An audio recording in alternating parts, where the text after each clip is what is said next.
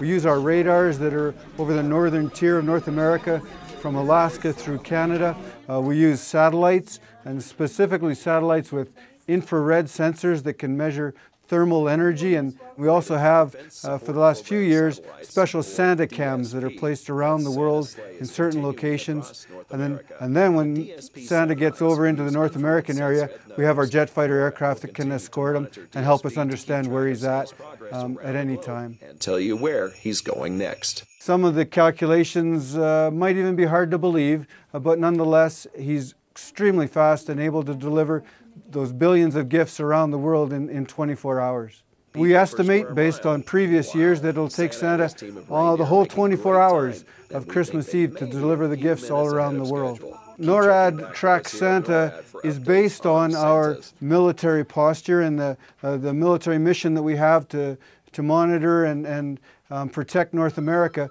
But Santa itself is based on uh, 70 contributors each year who provide uh, the funding for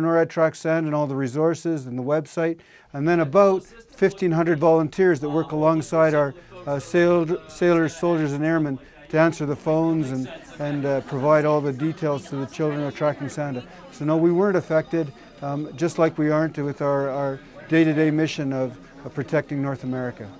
There are some storms that'll make tracking them a little bit challenging, uh, but we're confident that he'll still get through.